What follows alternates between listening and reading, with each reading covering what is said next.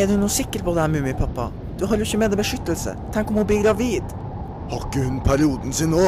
Jeg vet ikke. Men uansett, da. I så tilfelle, Mummi, så stikker jeg bare av til Sverige og blir borte et par måneder. Ja ja, det er jo du som bestemmer, pappa. Ja, Huff, ja ja. jeg beklager virkelig, Mummi. Men ta nå ikke det her altfor personlig, da.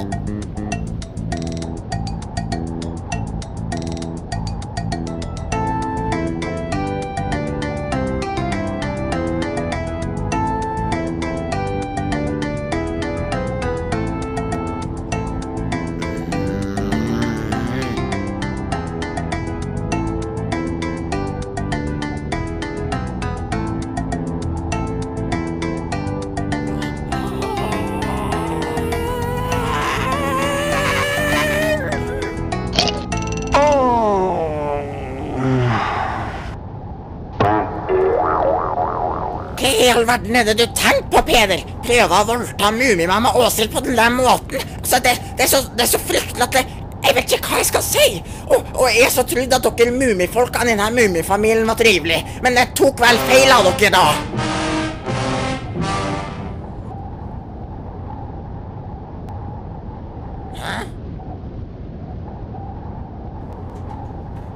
Hun er Ginger.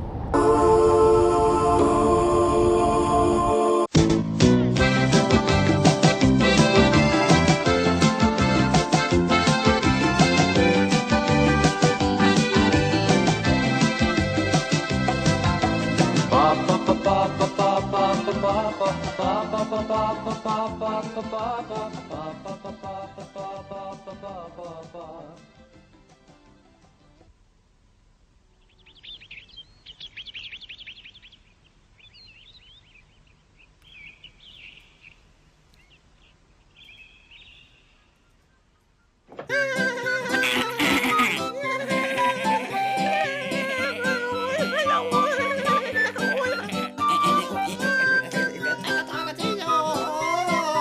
jeg og Arnhild blir med dere ut!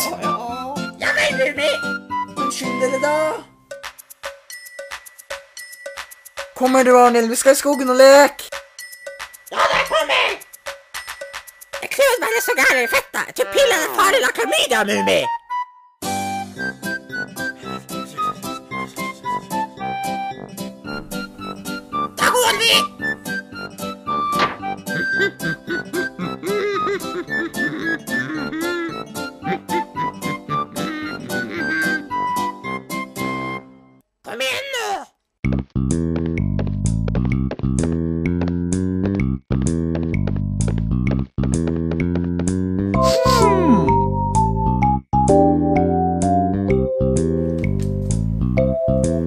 Du blir sugd av det der? Da hadde nok sett pikken sveve i lufta. Da boler som ikke får tak i, ja. Nei, det hadde vært fryktelig, Glenn. Jeg skulle likt å sett det, da.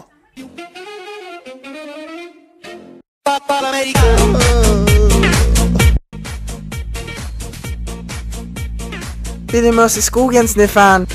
Nei, jeg tror ikke jeg gidder, Mummi. Det er fest her, og Mummi vil ikke ha med seg hasj. Åh, kan jeg få et trekk? Er du gammel nok til det, du, da? Jeg ser ikke hodet ditt, da, men du ligger jo bare og røyker hele dagen. Begynn å med skogen i stedet.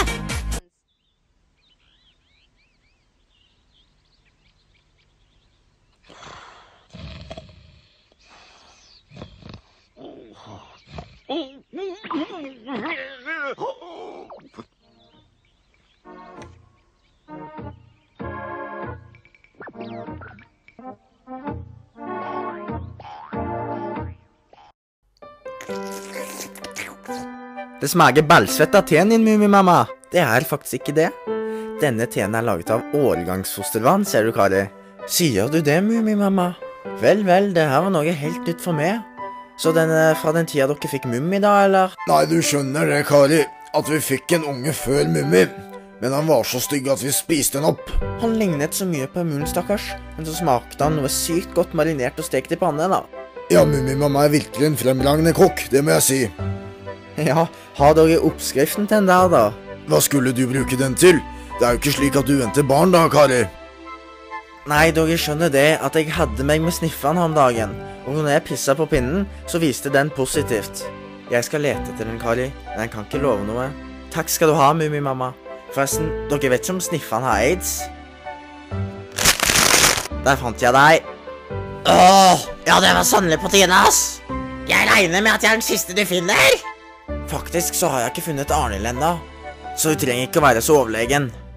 Puh, du er bare sur fordi du må stå, du. Er jeg ikke? Her er den perfekte gjemmeplassen for deg, Arnhild. Gjemmer du det her inne, så finner de det i hvert fall ikke, kan jeg garantere. Nei, altså, jeg vet nå ikke helt om jeg tror på det her.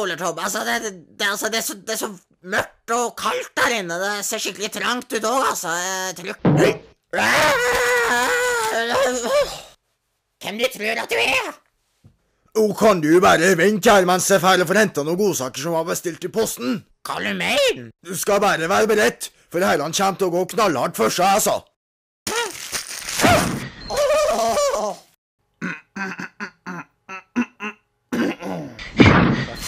Nei, slapp meg nå ut, da! Slutt med det her! Slapp meg ut, din pedofile boler! Det var jo i forrige uke sist lørdag at jeg gjorde det her med Filifjonka. Men uh, hun er jo død nå.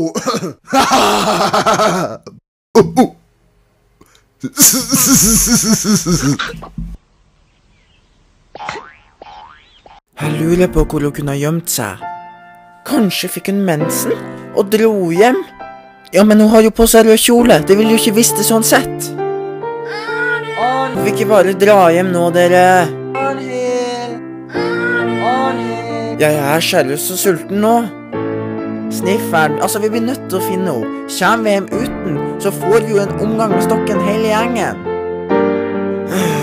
Å, jeg synes det er så dårlig gjort, altså. Det er sikkert ikke noe mer vid igjen når jeg kommer hjem.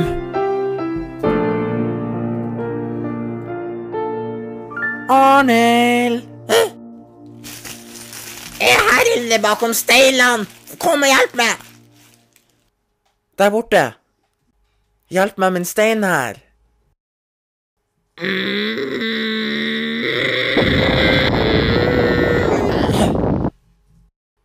Hvordan går det med deg? Bolertom har tenkt å voldta meg. Vi skal ta og fange han.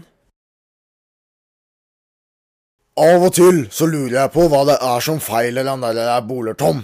Altså, det er klart Arnhild har en ganske fin kropp, jeg skal ikke ljuge på det, men å holde på slik som han holder på, det, det skulle ikke vært lov. Altså, av og til så lurer jeg på om steroidene hans går til hodet på ham, jeg, altså. Men én ting er sikkert, at hadde ikke du vært så jævlig tøs som du er, Arnhild, ja, så hadde ikke noe av dette skjedd. La oss dra og fange Bolertom, da!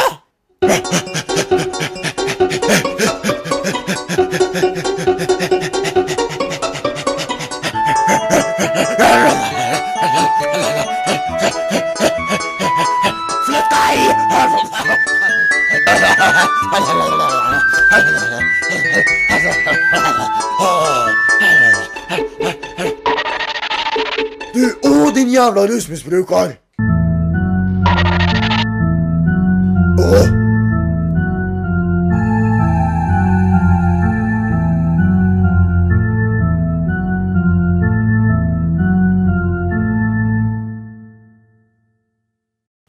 Hvordan gikk det?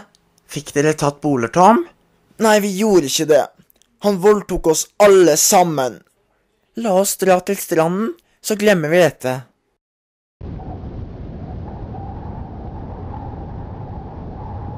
Er du nå sikker på det, Mummipappa?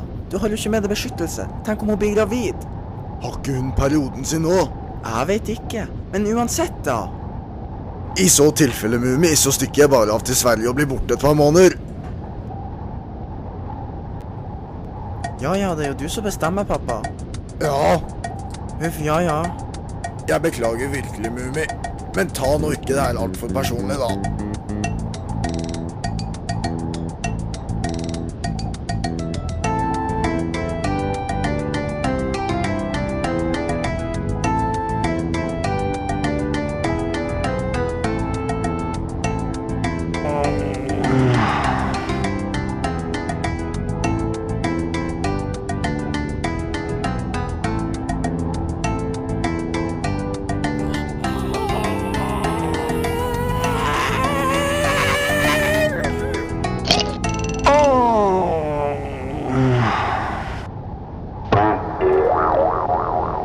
All verden er det du tenker på, Peder? Prøver å voldta Mummimamma Åshild på den måten? Altså, det, det, er så, det er så fryktelig at det, jeg vet ikke hva jeg skal si.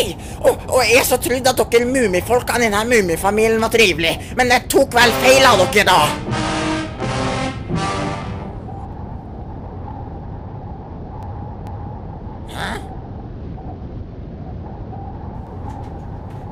Hun er Ginger.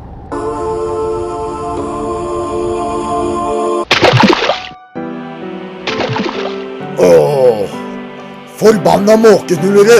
Jeg gidder ikke være her lenger. Nå stikker jeg ut og drukner meg selv. Ha det bra. Du var litt heldig da, Mummimamma. Nå kan jo du og Snifferen endelig stå fram. Men nå må jeg og Arnhild dra. Det var hyggelig at du kunne passe henne.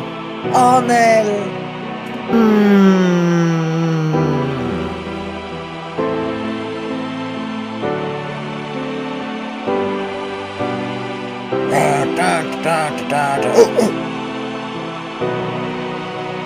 Men